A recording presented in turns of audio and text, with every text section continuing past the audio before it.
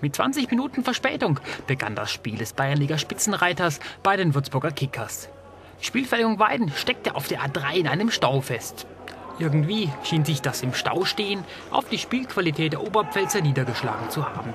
Denn was die Blau-Schwarzen in den ersten 30 Minuten ablieferten, war eines Tabellenführers nicht würdig.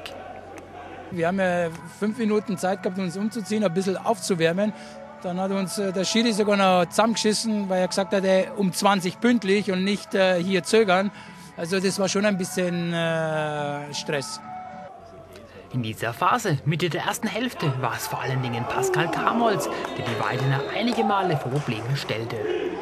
Das eine Mal zielte der Kickers-Torjäger knapp vorbei.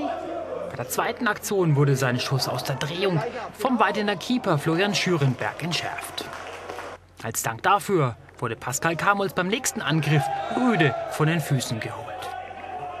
Wie aus dem berühmten Nichts ging die Spielvereinigung in Führung. Die Flanke von Abdelhak köpfte Alexander Geiger ungestört ins Kickersgehäuse. Mit diesem 0 zu 1 für die Gäste wurden auch die Seiten gewechselt. Im zweiten Durchgang hatte der Spitzenreiter die Rotrosen besser im Griff, schaffte es aber zunächst nicht, seine zahlreichen Chancen zu verwerten. Stefan Zimmerhagel war wiederum einer der Besten bei den Unterfranken. In der 65. Minute konnte der Kickers-Keeper Abdelhak nur mit einem Foul stoppen.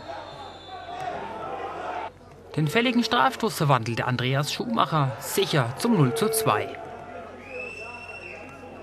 Nach vorne zeigten die Würzburger in dieser Spielhälfte nicht viel.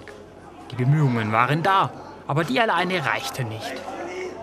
Während in der Schlussminute der regulären Spielzeit der Kickers-Keeper ein weiteres Male gut mitspielte, schafften seine Stürmerkollegen in der Nachspielzeit den Anschlusstreffer.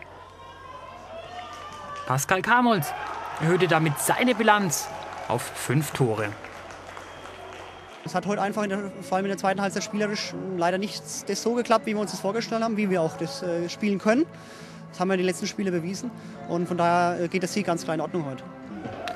Die Kickers jedenfalls brauchen die Köpfe nicht hängen zu lassen. Gegen andere Gegner werden sie die nötigen Punkte schon holen.